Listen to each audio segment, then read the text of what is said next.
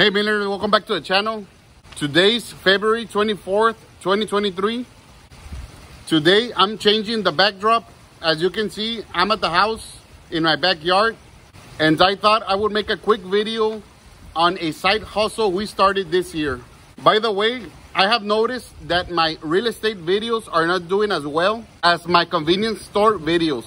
So I'm gonna try to focus on making videos of the store. So on to the video.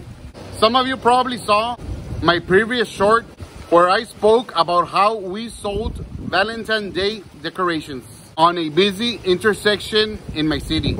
My family has done this for years. They buy teddy bears, chocolate hearts, flowers, and make Valentine's Day decorations for people to gift to their significant others. We had tried this side hustle once like 15 years ago, but we never took it seriously. This year, to my surprise, my wife started buying everything to sell again. She asked for a friend of the family if she could borrow the parking lot of her business. She kindly agreed to help and we hired my two sister-in-law to help us make and sell the arrangements.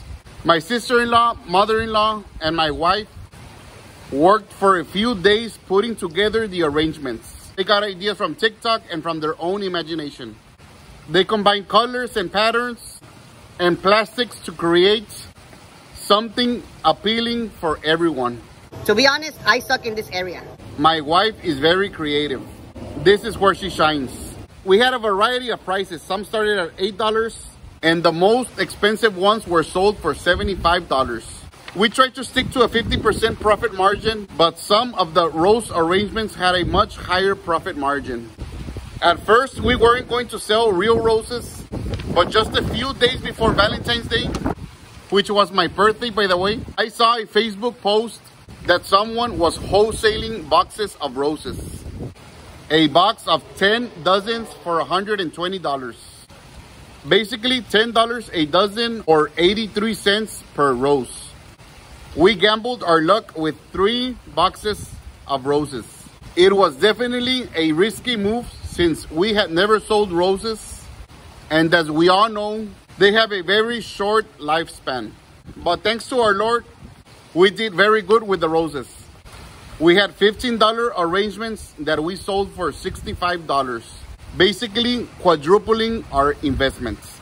Unfortunately, the business where we sold did not have electricity.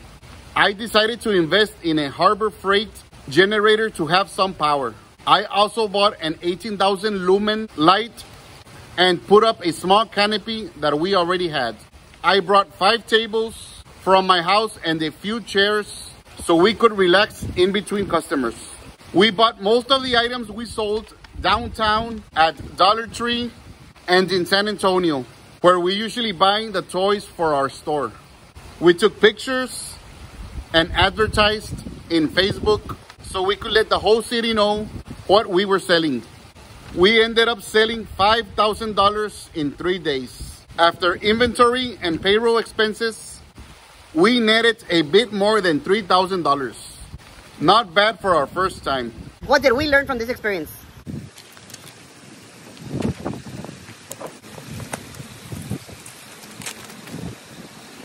Sorry guys, my script was flying away. Lesson number one. There is money everywhere. Never think that you are too rich or too cool for a side hustle. Lesson number two. People are always desperate to buy whatever and always leave the shopping for the last minute. Lesson number three.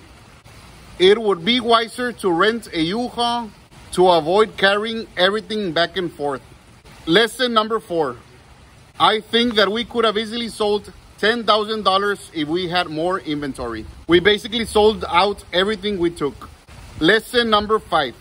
We need to make inexpensive 10 or $15 arrangements for teachers. They were in high demand. Maybe a simple coffee mug with a rose. Remember, I'm not that creative one. Lesson number six. Customers look for certain characters to gift.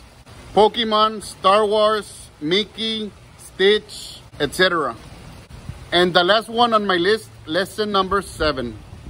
put up a second location to sell even more. Okay guys, so I'm gonna wrap it up for this video. I hope you enjoyed the idea and hope I motivated you to continue creating wealth and to think outside the box.